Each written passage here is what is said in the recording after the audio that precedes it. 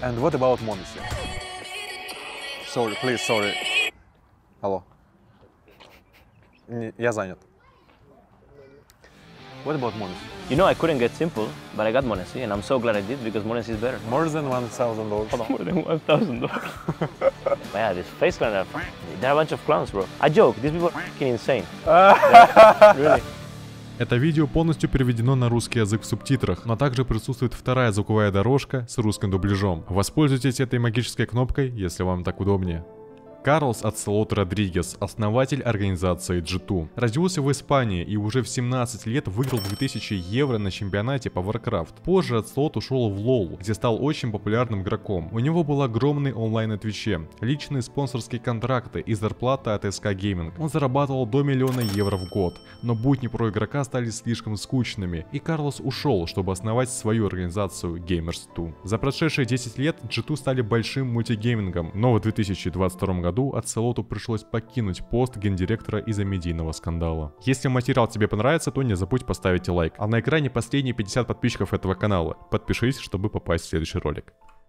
Carlos, thanks for the interview. I'm so My excited. pleasure, my brother. My pleasure. Thank you so much.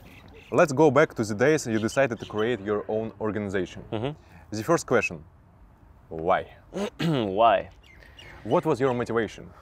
People say you had a good contract with SK Gaming as a player. Yeah, yeah, I had a I had good terms as a player. Being a player treated me very well, but I am a very ambitious person. You know, I'm the kind of person that if I'm playing poker, if every hand I'm playing with a two and a seven, I can win some hands, but I feel like shit because I cannot win most hands.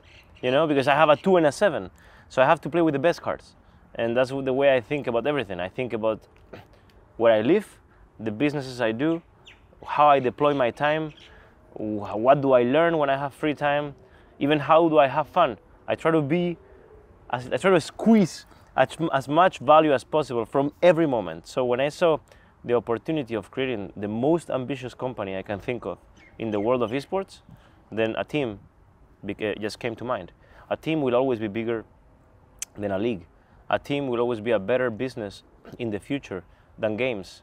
A team will always be bigger than a headset company for video games only. Why is that? Because every day that passes, there's one more fan, and then one more fan, one more fan. Eventually, you become so big that every single publisher, brand, product that comes new wants to work with who? The biggest teams. So eventually, I become so big that every, every, everybody will want to pay me money to promote them. That was my theory back then, and now it's proven to be true. Back then, did you have any education in this field? Or at least some experience in managing people? Education in any field is worth almost nothing. I don't believe you can read a book about a specific field and then become expert. I don't believe that you can even speak to me and become expert. You can only become expert by doing. That's the only way, you know? So no, I, I had no idea how to manage people. I had no idea how to create a business. I had no idea how to make money in the world of esports. But I learned to do everything. And I learned by failing, I learned by understanding what works, what doesn't, and I learned by pattern recognition, you know? if you have a good attitude, if you are ambitious and you are humble enough, you will learn, always. You will always learn. So yeah, no, when I, when I started G2, my only experience in life was traveling the world, competing in video games, and yeah, I was the captain of my team, of my teams, which gives you a lot of skills. Yeah, You know, you have to know how to speak to this guy, you have to know how to speak to this other guy. Some people are more sensitive than others. Some people you can tell them straight. For example, Russians, you can tell them straight. You, you, you can say you're shit, and the Russian will be like, okay, I understand. Uh, Tell me how I can improve. yeah. A Western guy will very likely be like, oh, you're, you're, I don't like how you're talking to me. Uh, They're a bit more um, feminine, yeah. but yeah, it's uh, you learn that by doing, by traveling, by trying, and eventually you get it right. You know, managing people, being very good in a ver- specific vertical. is not a, it's not a solid science. It's something that is like water. You know, you learn yeah, yeah. and you do things your way. I am very different from somebody else that is very successful in the world of video games. But it works for me and it works for him. There is infinite paths to success. And my path is Carlos' path. I like to deal with people with empathy, but at the same time I'm very strong, I'm very ambitious. I will cut somebody that is slowing me down automatically, depend regardless how close they are to me. I will cut them. And, uh, and I, will, I will replace them for somebody better. Uh, who was the guy that you invited to your team, to your company, and he um, did uh, your company much better? Who is this star star guy in your team? No, many many people. Like for example, right now in G2 there is a CEO called Alban. Uh, Alban is probably the best employee I ever hired. Um, he's amazing. He's really really good. I mean, there's nothing else to say.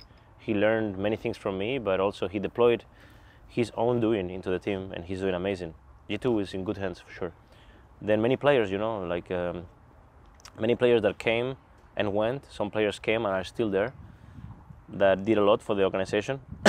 Caps, Perkz, NiKo, Shox, m0NESY, um, uh, Hunter, uh, you know, even Nexa, who's been there now twice, yeah. Kenny, I mean, I can tell you a thousand people, you know, that really did a lot, Yeah. a lot, a lot for us. I, I can tell you everybody that entered, everybody that joined, helped us become where we are today. Even those that joined and they were not good for us, they taught us lessons Мы подвели итоги года каждого из вас на Сабершок. Авторизуйся на сайте и получи подробную статистику о том, какой у тебя был средний КД, твоя любимая карта, режим или количество сыгранных часов. Обязательно поделись этим с друзьями и посоревнуйтесь, у кого лучше. А еще в честь Нового года мы запустили скидку на премиум и лайт подписку. 24% дискаунта до 15 января. Если что, это полноценная подписка, которая дает возможность выполнять миссии, играя на серверах и получать скины. А сверху к этому скинченджер и дроп скинов. Скидки скидки мы делаем редко, поэтому не опоздай воспользоваться дискаунтом. Карлос, what cars do you have? I have, a, I have a lot of cars actually, but uh, still less than I would like. I have uh, two Rolls Royce, one Cullinan with uh, is black with Tiffany interior. I have one Phantom uh, black with white interior. The Cullinan is a black badge as well. Very good, very unique actually. I have um, two Lamborghini Urus, one green pearl capsule and one blue pearl, but it's not capsule, it's just uh, normal Urus. I have uh, 488 Ferrari Rosso Corsa. I have F8 Spider Rosso Corsa. I have um, M8 competition. I have um, G class actually. Uh, it's not Brabus. It's just normal G class. Uh, oh, I just bought two uh, Revueltos Lamborghinis. They come. I hope soon. It's the newest. The new, yeah, it's the new, it's the new, no, no, it's the new uh, Aventador. it's like Aventador, you know? yeah. Uh, it's beautiful, beautiful, beautiful. I bought two of them. Hold on. Oh yeah, I have an S class as well, an X6 competition. Uh, what else do I have? I think that's it, no? And I'm buying my, my dad a Maserati soon. So I think the MC20 so looks very good. So that's probably the one. I think that's it. But yeah, one more. I don't have enough. What do you think helped uh, Gamers2 uh, to become a big multi-gaming organization, even though you started as a League of Legends team? ambition. Same. Like if you only have a League of Legends team, okay, that's like playing poker with a two and a seven. Yeah. But if you have a League of Legends team, uh, a very good Counter Strike team, a very good Rocket League team, a very good Ra- Rainbow Six team, blah blah blah blah. You have like a portfolio approach to your team. Then you're playing with a king and an ace. It's different. It's unquestionable that G2 right now is the largest and only global esports team, actually. And that happens as a result of the fact that we have right now 53 million fans around the world. And the amount of uh, times we have been told, oh, you're only successful because of this player, you're only successful because of this team. and then we've proven over and over again that it's not true. You know, yeah, we, we have the best, imagine we have the best Counter Strike team at some point, and then eventually what goes up goes down. It's normal, you know, that's just the way of life. But we have proven that every time it goes down, we figure it out, and then we do well, maybe, uh, and then go up again. That's every time the case. I think that the combination of ambition, com- uh, in combination with the relentlessness of never giving up, is what makes G2 G2. Also, we like to have fun, and even though I'm no longer operational in G2, I'm no longer there.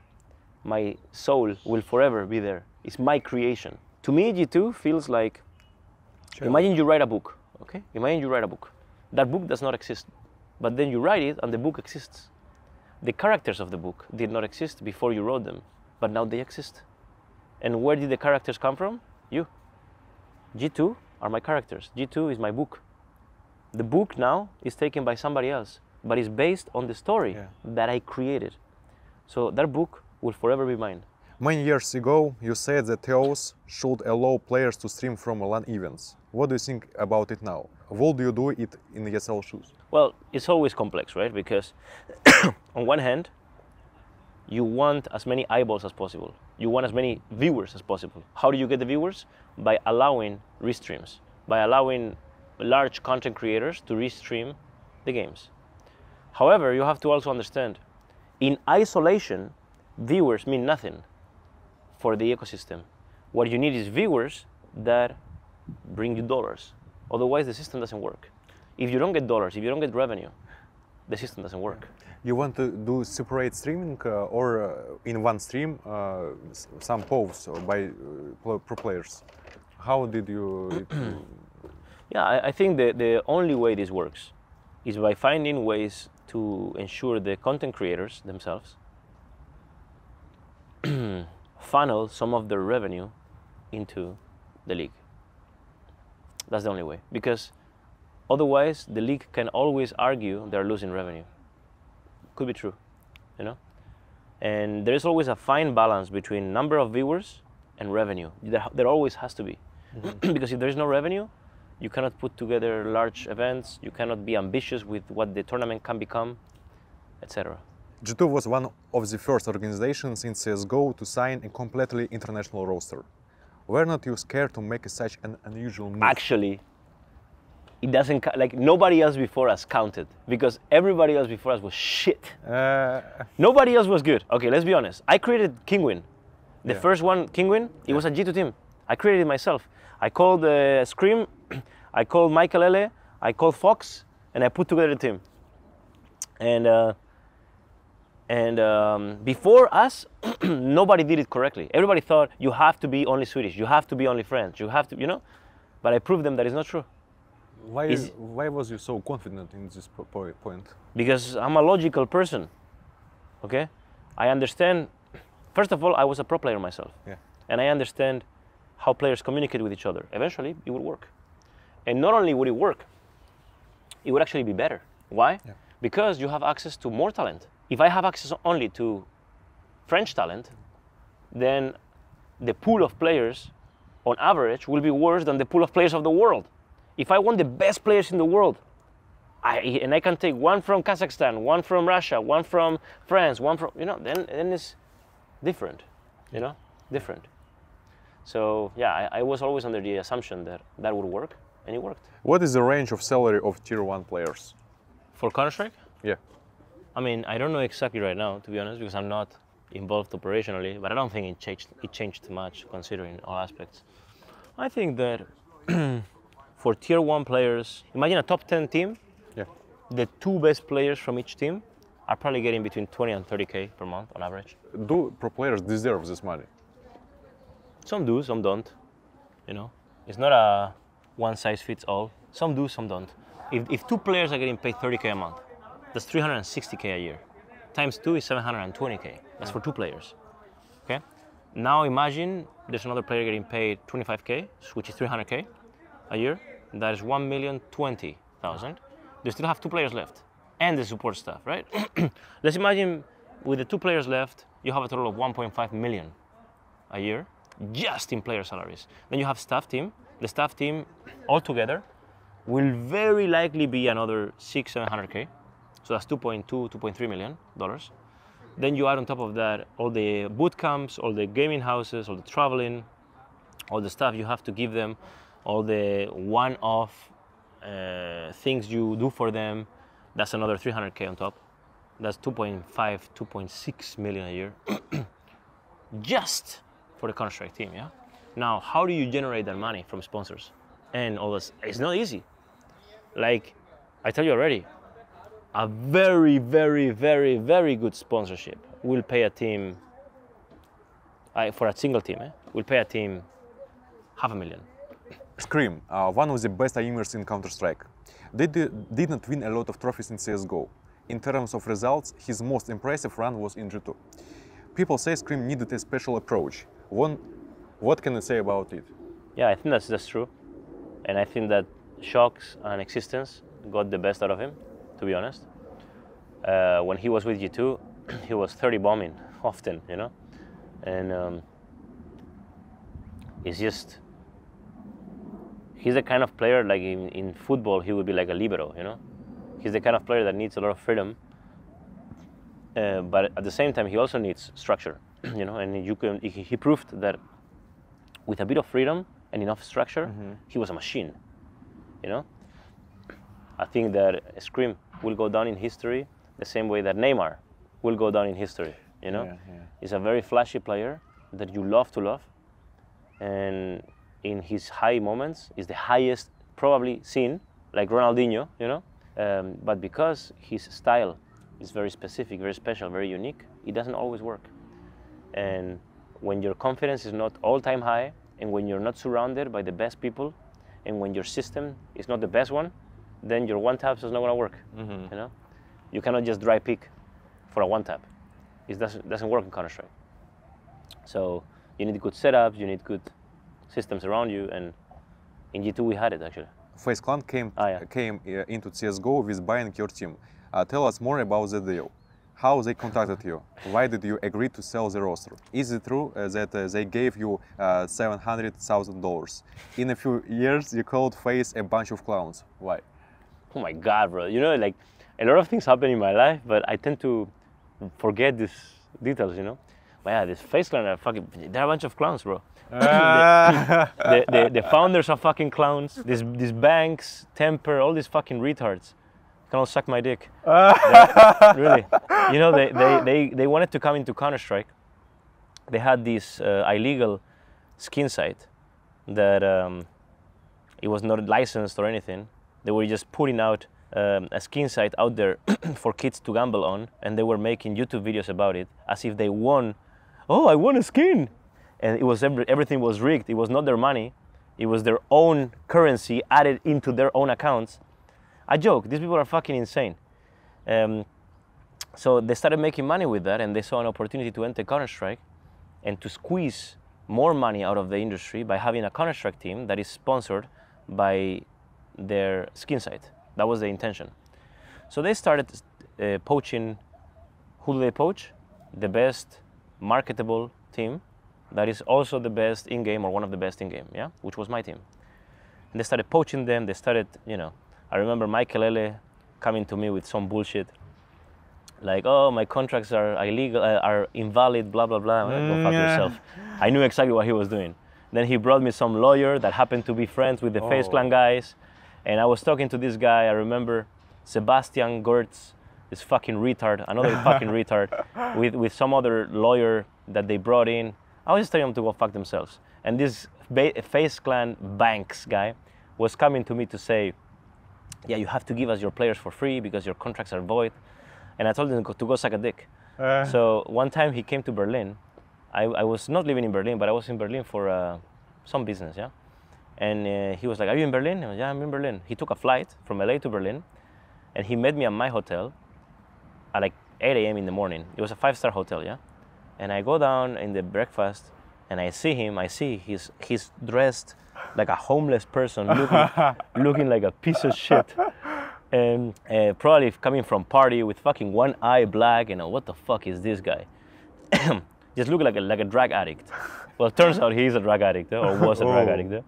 And, and so he came to Berlin, and uh, he was all tough. He came with this Sebastian idiot, and um, they were trying, actually no, to be honest, not Sebastian, but this Banks guy. He was trying to play big guy, you know. I was like, you give me your players for free, and I told him, you go fucking suck a dick, you dumb cunt. And he started hitting the table and Uh. everything. And I was like, okay, you keep doing that, we're gonna, I'm gonna beat the shit out of you. And uh, that was like this, really. And and um, I was just laughing, you know. This fucking guy, he comes to Berlin just for me to, to tell me that he wants my players for free. So anyway, I told him, look, you want my players, gonna be a million dollars. Take it or leave it, you know.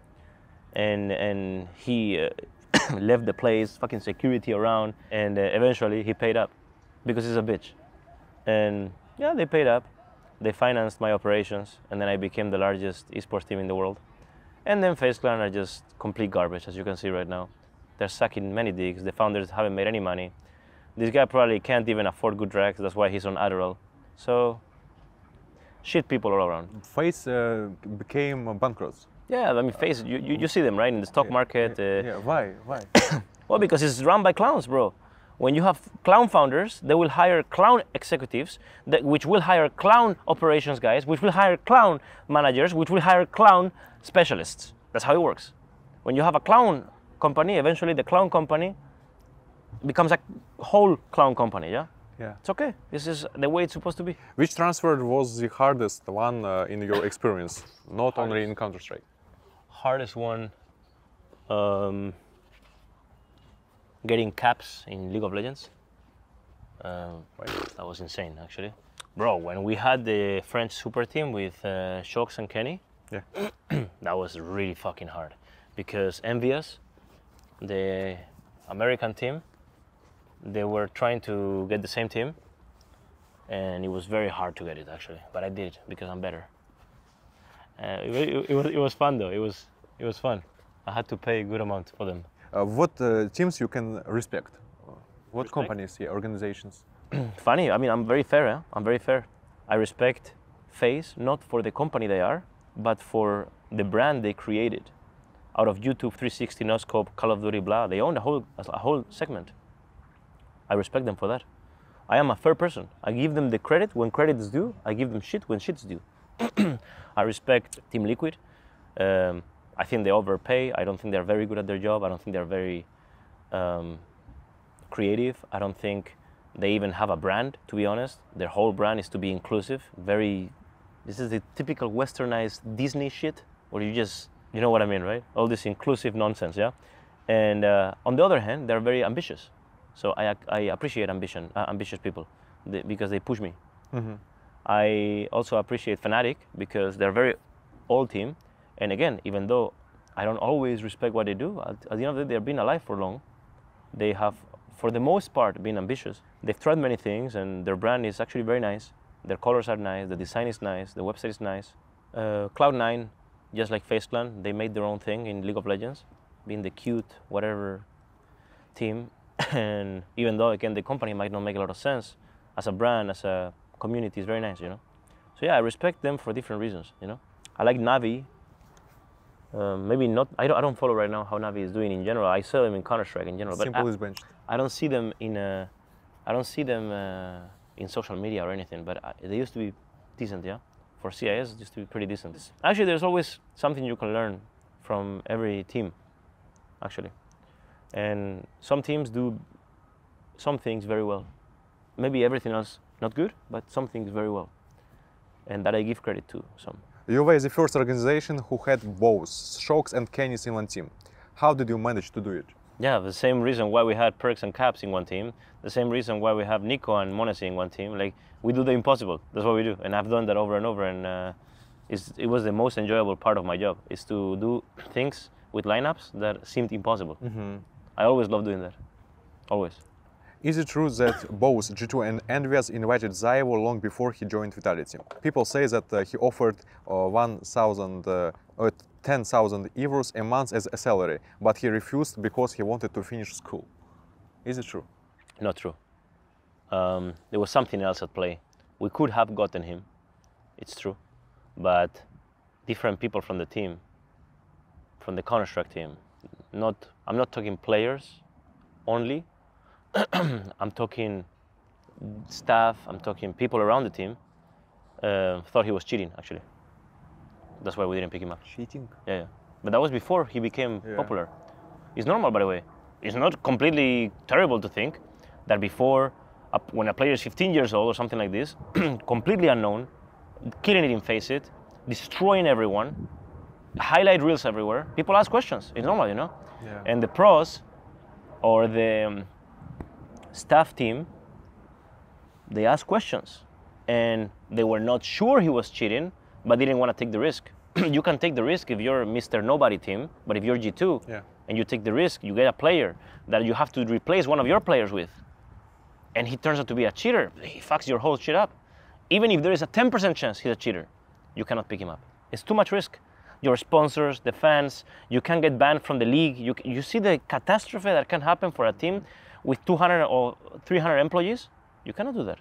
You cannot take the risk. It's normal. Tell me more about Kenya's departure. Later, Kenny said that it was the best decision both for you and for him, and that uh, he could not reach his, his peak in, this, in that roster in G2. What can you say about him? How do you remember Kenny? I, I cannot, to, to be honest, I cannot remember exactly how his departure played out because, I mean, you can imagine there's a lot of players that came in, went out. I, I promise I don't remember exactly what happened. But what I can tell you is what I remember about Kenny. Kenny is like magic player, you know, magician player.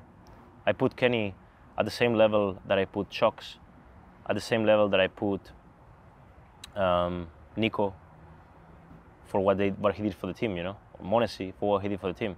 I mean, he was fucking magic, you know, uh, to watch him play. He's a he's a legend, and I respect him greatly, yeah. And uh, he did things his way, and he understood what works for him. For him, it didn't work if he plays Counter Strike 14 hours a day. For, team, for him, it worked if he had a nice life he's happy with, and then he plays on the side. And every time you would try to put more structure into his life, he, would, he was better, uh, worse. A bit like Neymar, a bit like ScreaM, you know, a bit like this. It's the magic players. It's magic. Magic stick. Actually, magic stick. You're right. You actually that's a good one. Yeah, yeah. Ma- it's the magic stick. You know, you have to let him do his thing. And by the way, very nice human. Kenny, very nice human. I have no complaints. Very nice human. I like good people, bro. I think working with good human beings is just different, man. Like when you root for them, you want to help them. You know. How did it even happen that your Spanish organization became one of the biggest names in French CSGO scene? I don't care about Spain. I don't care about France. I care about winning. You know, I happen to be born in Spain, but I could be born in uh, South Africa, and it wouldn't matter to me. I don't care about Spain. I don't care. I don't follow. I, I don't root for the Spanish football team. I don't care. I don't. Uh, I, the same way I don't care about France. I don't care. I just want to win. So, if that, if I, if I can win with the Spanish, I I get Spanish. If I can win with French, I get French. If I can win with global, I get global.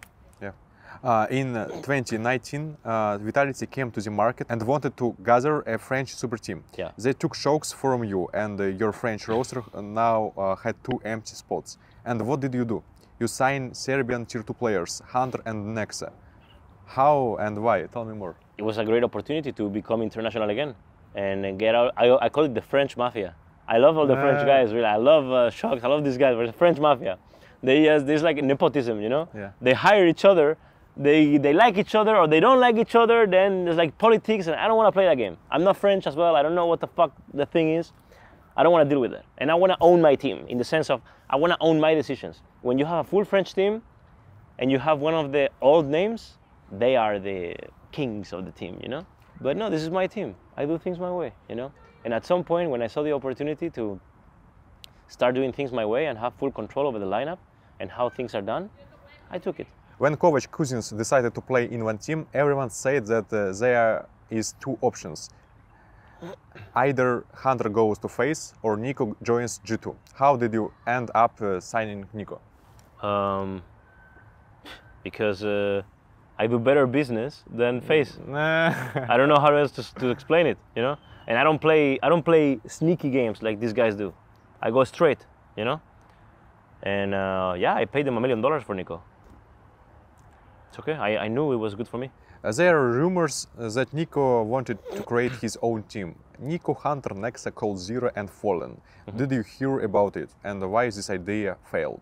Yeah, there's always things like this. Sometimes it's a small rumor that has no nothing behind. Sometimes it's a small rumor that two players are talking about as ideas. Meanwhile, they're doing FACEIT, and then one talks, one talks, and then it reaches HLTV in two days or one day. It's normal. Um, this one in particular was not too serious because it never reached my desk. Riot Games or Valve? Who will win? In what? In uh, cybersport, in esports. I mean, Valve has the money printing machine, which is Steam.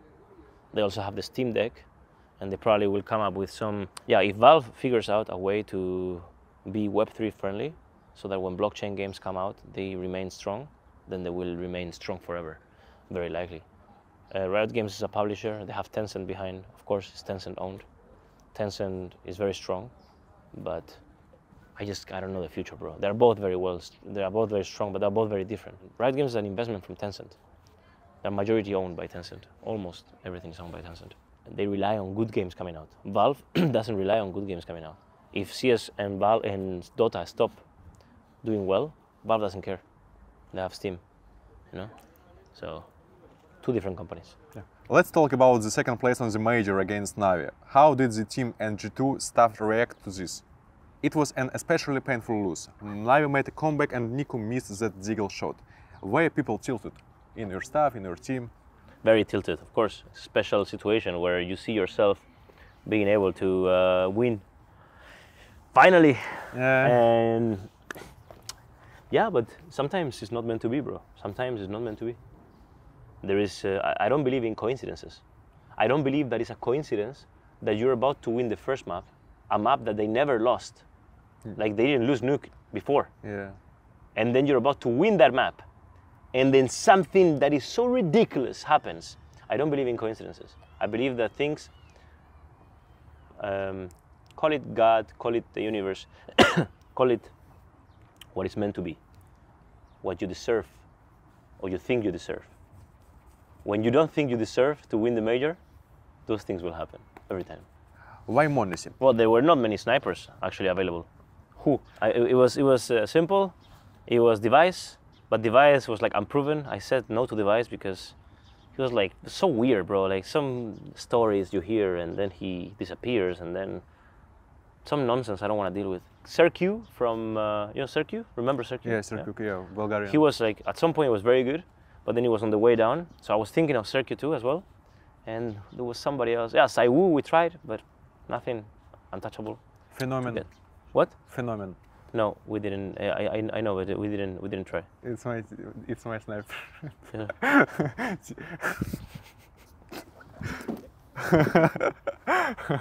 uh, and then m0NESY was just the was just the way, you know, young, fresh blood. When I spoke with him, it was like perfect, you know.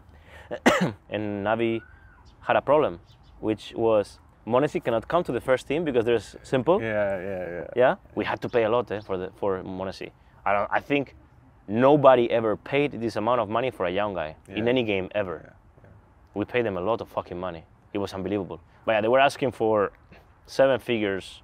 Oh, yeah, yeah, yeah. Yeah, yeah. How did m0NESY adapt to the team? 16 years old kid just went quick, to an- very easy, simple. He's very, very, very humble. He listens.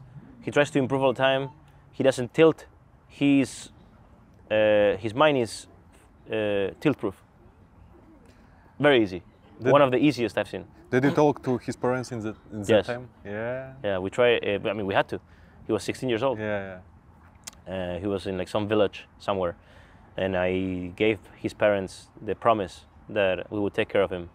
I gave his parents the promise that he would be millionaire, and I gave his parents the promise that he would make them proud, and I would. ma- I made his dad the promise that I wouldn't let any bad happen to him in career. I'm coming for you, Sasha. Who came up with this phrase? He did by himself.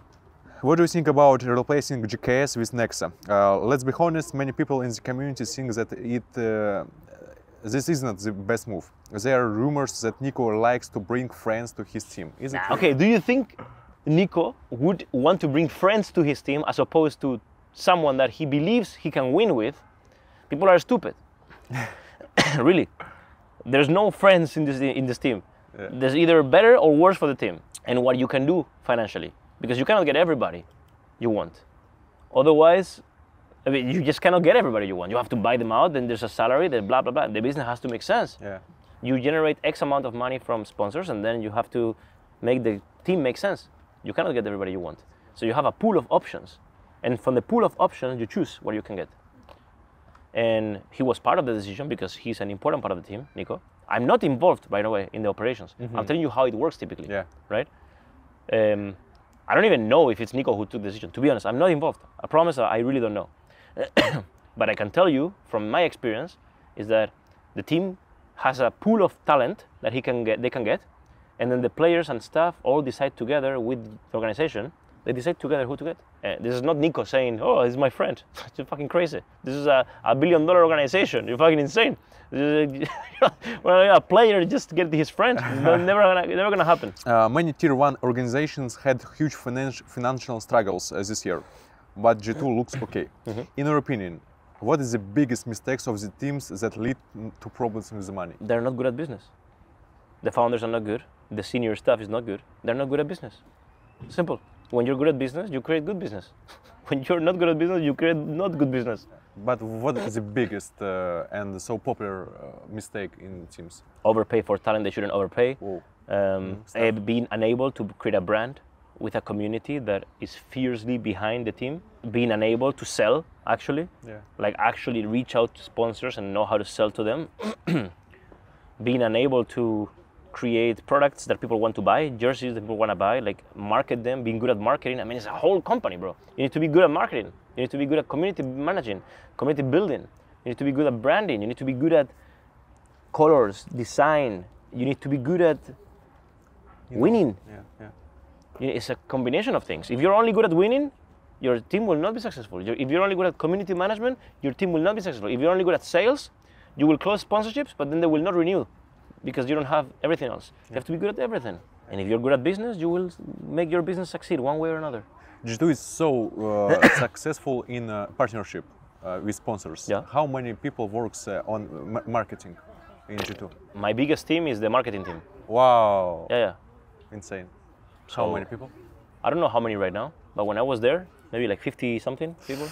How many people was uh, when you 200 maybe, 200 and something. Andrew Tate scandal and your departure from G2. I will be honest, most of my viewers are from CIS, and there are no many people who know about that situation. Can you tell your own version of that happened? How did you end up leaving the organization that you created? I have in my life maybe one or two friends. Okay? Friends. And then I have my family. I take care of all of them. Tate is not one of them. Okay? He's one of the many people I know. I happen to like him, like I like many people around me, but he's not a friend. I have never, I don't know him for many years. I don't, I haven't gone through shit with him and then up and then down, which is what you typically do with friends to understand what cloth they're made of Yeah. and the type of person they are. So he's not at that level. However, it doesn't matter for how long I know him for. It doesn't matter how close or far from me he is. If I want to party with him, if I want to have him as my close acquaintance, even friend, people can go suck a dick. If I want to have Saddam Hussein as my best friend, and I go with Vladimir Putin on Thursdays for dinner, and then I go on Fridays with Zelensky, people can suck a dick. I don't care.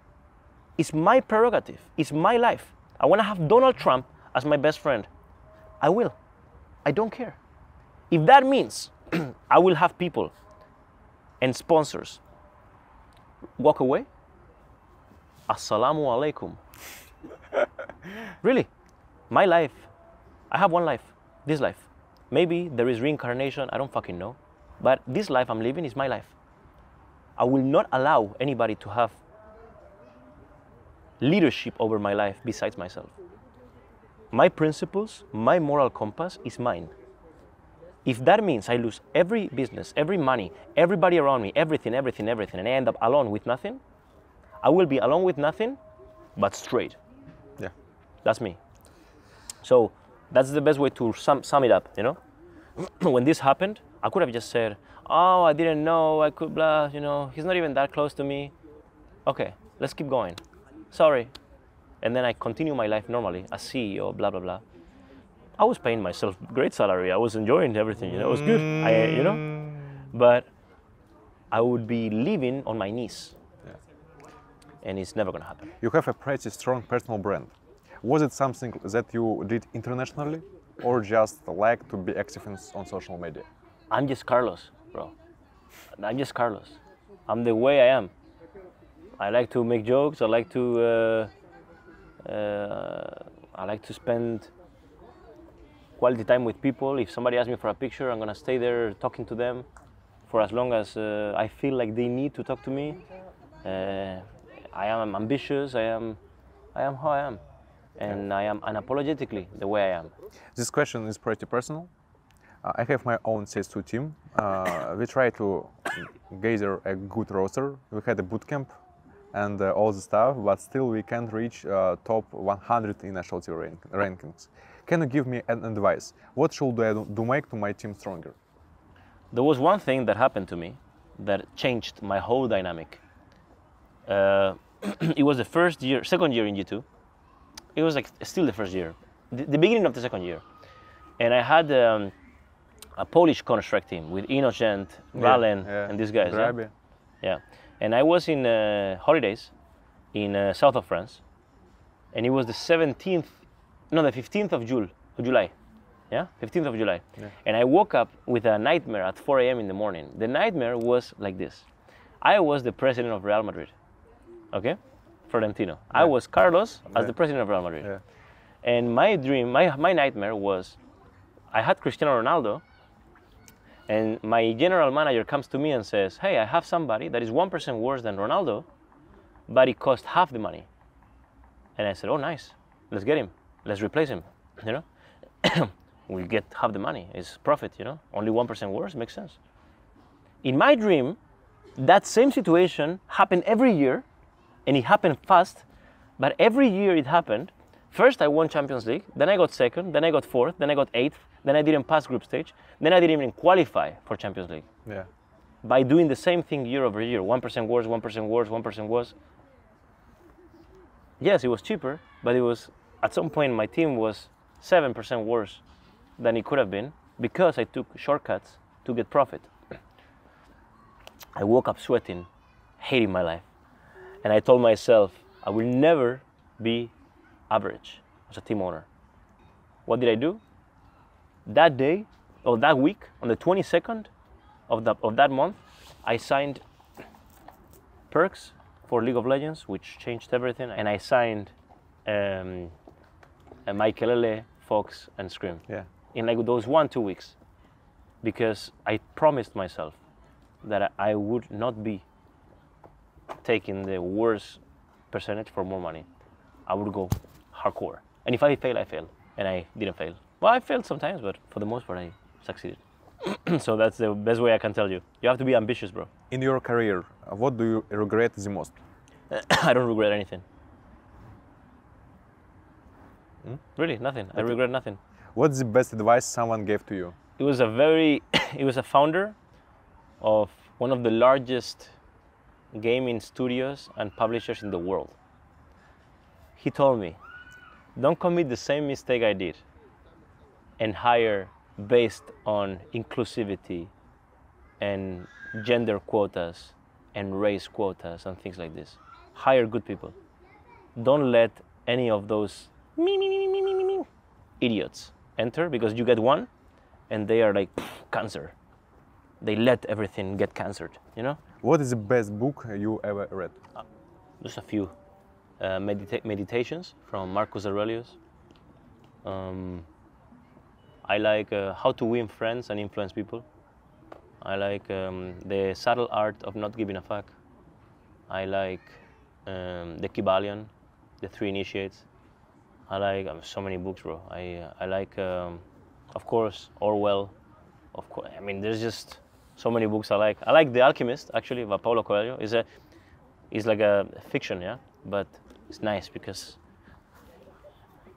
I like. Um, I understand the universe in a way where what you ask God and what you believe you deserve, you get actually. And uh, my life is a perfect representation of that truth. So yeah, books like this. What is the biggest advice you can give to someone? nobody told me this, but I learned this. You cannot compare yourself with Elon Musk. You cannot compare yourself with Cristiano Ronaldo. You're not Cristiano Ronaldo. Ronaldo is an athletic phenomenon that is the best player in the world. Yeah. a legacy player in football. Yeah? You're not. And you will never be. Why? Because God made you different. God made queen ant, soldier ant, um, worker ant, reproductive ant, and every colony of ants in the world have the same exact ratio of soldiers, reproductive, uh, workers, and queen. Every colony in the world. Humans are the same. If every human was Napoleon, then nobody would be Napoleon because I will not have a boss. Nobody can boss me around. Nobody can tell me where to go to war. I will tell people where to go to war. That's just who I am. God made me this way.